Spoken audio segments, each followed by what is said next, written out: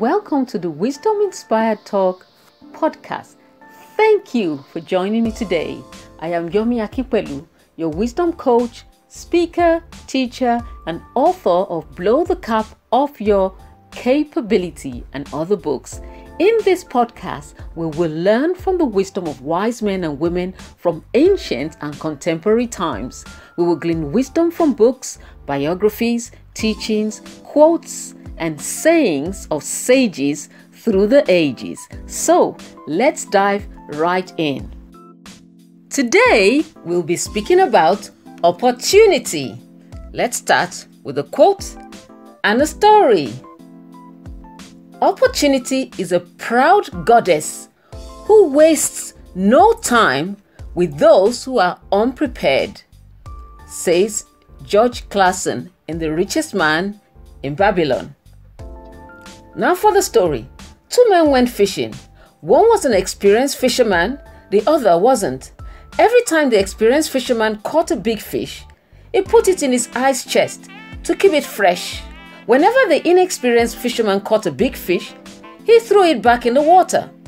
The experienced fisherman watched this go on all day and finally got tired of seeing this man waste good fish. Why do you keep throwing back all the big fish you catch? he asked. The inexperienced fisherman replied, I have only a small frying pan. We laugh at that fisherman who couldn't figure out that all he needed was a bigger frying pan or cut the fish into smaller steaks.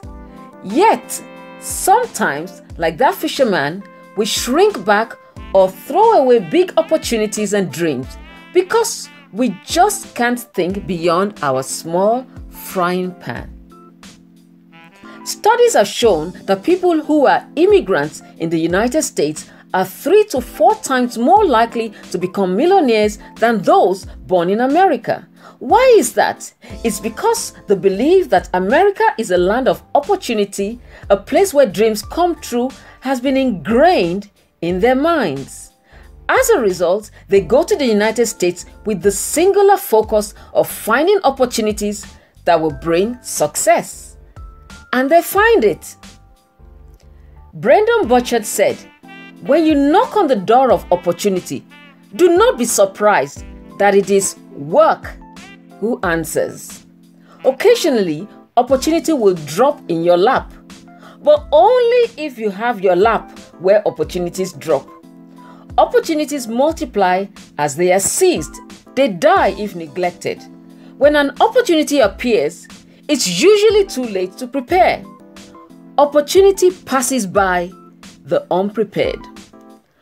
Opportunity doesn't always knock. Sometimes it stands by, waiting to be recognized. We're surrounded by overwhelming opportunities. There are opportunities lying latent everywhere waiting for the perceptive eye to discover them. Opportunities are like stars, they are constantly shining, but we usually don't see them until the darkness pervades. The door of opportunity will not open unless we push.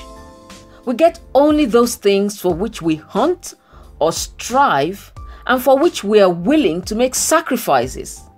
Nothing ventured, nothing gained. The saying. We either venture or vegetate, said the wise man. Security and opportunity are total strangers. Earl Nightingale said, Whenever there is danger, there lurks opportunity. Wherever there is opportunity, there lurks danger. The two are inseparable, they go together. This year's breakthrough was last year's impossibility, said someone.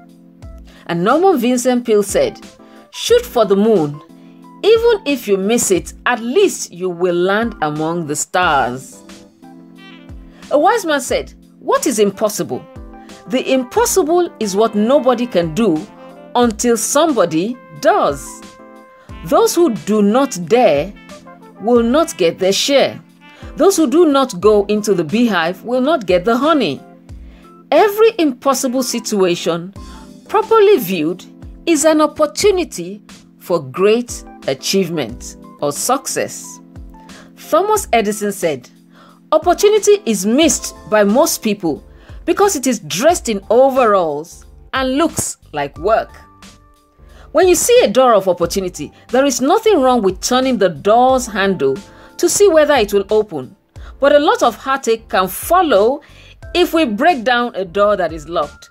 People have experienced hard knocks in life and learned bitter lessons when they have done this. So, engineering your own success also places a burden on you to sustain that which you have created.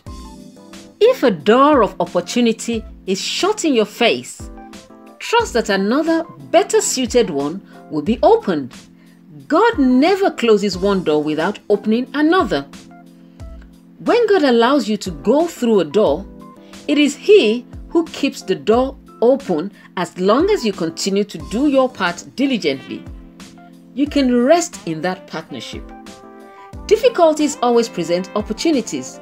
So the next time you find yourself in the midst of a bad experience, remind yourself that you are on the cusp of an opportunity.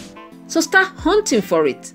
Something will always turn up, and if nothing seems to show up, at least there will be an opportunity to change and grow.